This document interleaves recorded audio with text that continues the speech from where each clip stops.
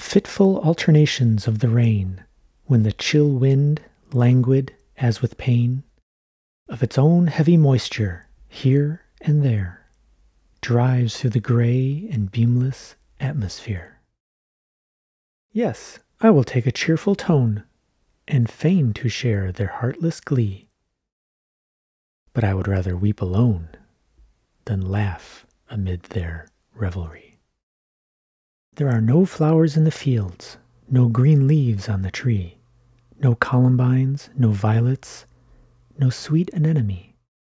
So I have gathered from my pots all that I have to fill the basket that I hang tonight with heaps of love from Jill.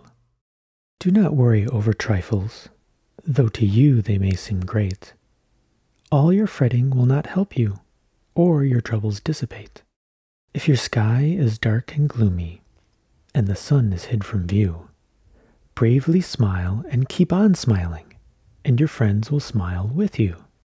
Happiness is so contagious, and a smile is never lost. Then why worry over trifles, though your heart seems tempest tossed? Therefore, go on life's journey with an optimistic smile. See the world is good to live in, and that living is worthwhile. Rain has fallen all the day.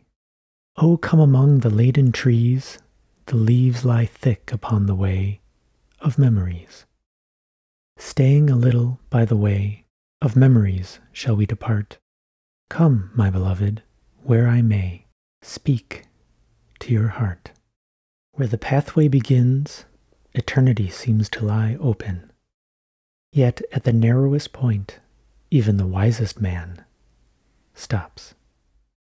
A hundred miles between us could never part us more than that one step you took from me what time my need was sore. A hundred years between us might hold us less apart than that one dragging moment wherein I knew your heart. Now what farewell is needed to all I held most dear? So far and far you are from me, I doubt if you could hear.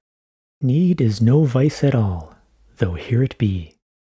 With men a loathed inconveniency.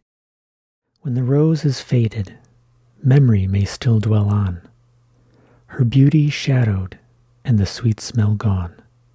That vanishing loveliness, that burdening breath, no bond of life hath then, no grief of death. Tis the immortal thought whose passion still makes of the changing the unchangeable. O thus thy beauty loveliest on earth to me, dark with no sorrow shines and burns with thee.